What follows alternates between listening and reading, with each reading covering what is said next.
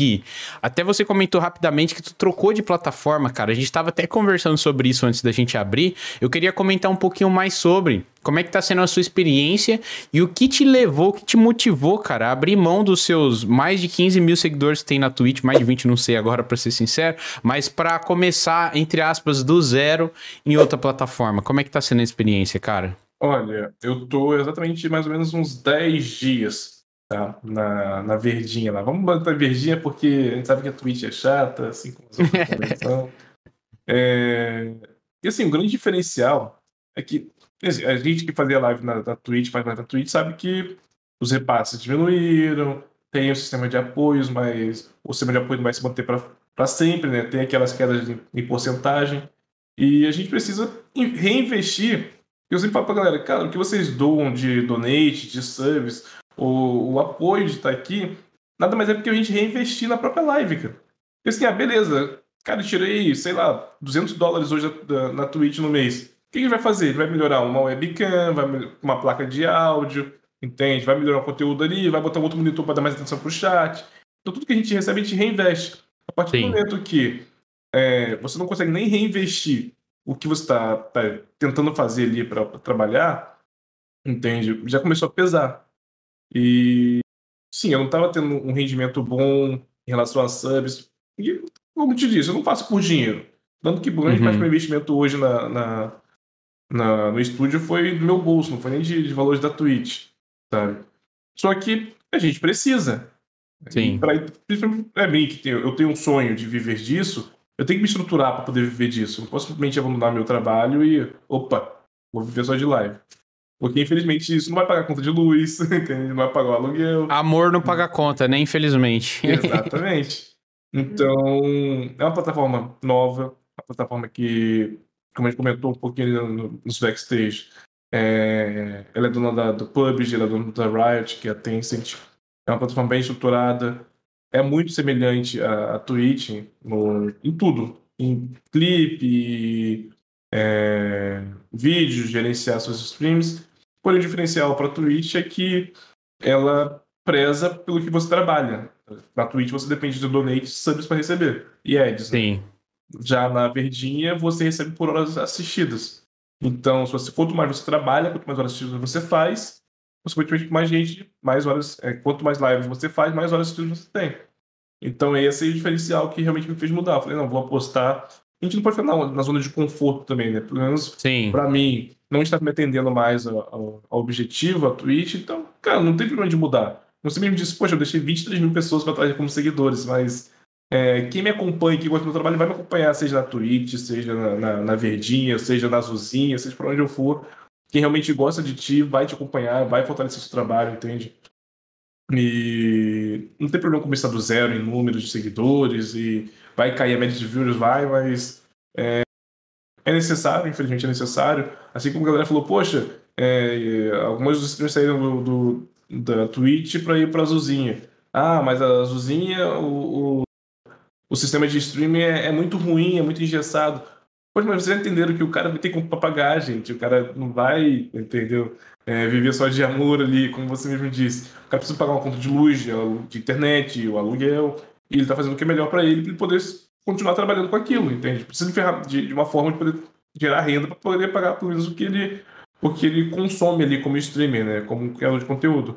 Então a mesma coisa foi que eu pensei. É, já que eu quero é, mudar a ponto de ficar full time só em streaming, eu preciso criar pelo menos uma base, uma plataforma para depois realmente falar assim, opa, estamos estáveis o suficiente para poder arcar todos os, os custos de casa e posso virar a chavezinha para trabalhar só com o streaming. Aí a gente pode pensar nesse ponto. Mas se eu não conseguir começar a me, me calçar agora, lá na frente eu não consigo fazer essa mudança. Então isso foi motivo de estar de tá fazendo essa mudança de plataformas. E eu estou gostando bastante, tá? Gostando bastante. Atenção, que é o que a gente mais reclamava na Twitch. A gente tem 24 por 7 de um suporte da, da Verdecinha trocando uma, uma ideia. Poxa, como é que vocês estão? Precisa, não precisa? Até no próprio chat, inclusive, já vieram a conta oficial mandar um. Caraca, que da hora! Cara, esse tipo de atenção é um bagulho tão simples, né, cara? Sim. Tu sabe que não é o dono da empresa que tá lá, mas só de ter alguém, Sim, né? Com certeza, pelo menos tá, dando, tá te ouvindo, cara. E a gente reclama bastante disso no Twitch, né? Só tem contato com a Twitch em si que tem contrato, contrato de parceiros. quem é filiado para baixo, impossível. É, e muitos parceiros nem tem, viu? Porque Sim, eu, ve, tô vendo gente gigante reclamando, o próprio Yuki reclamando e falando que vai sair da plataforma e tal. Sim, e foi... o saiu, hoje foi o dia do, do Ugro na, na Twitch.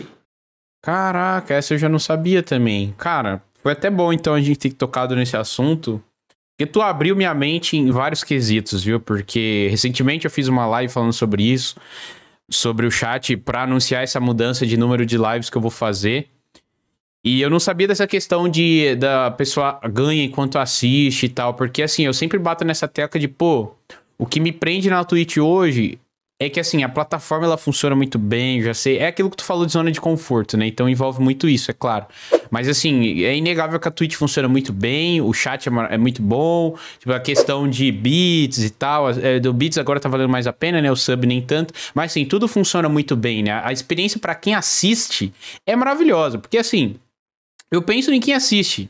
Porque para mim, não, fa não faz diferença a plataforma que eu tô nesse sentido, porque quem me paga, igual, isso é uma coisa que a Pimenta Rosa falou aqui. Quem paga a gente não é a plataforma, quem paga a gente são vocês que estão aí assistindo. A gente que não tem contrato, é claro, né?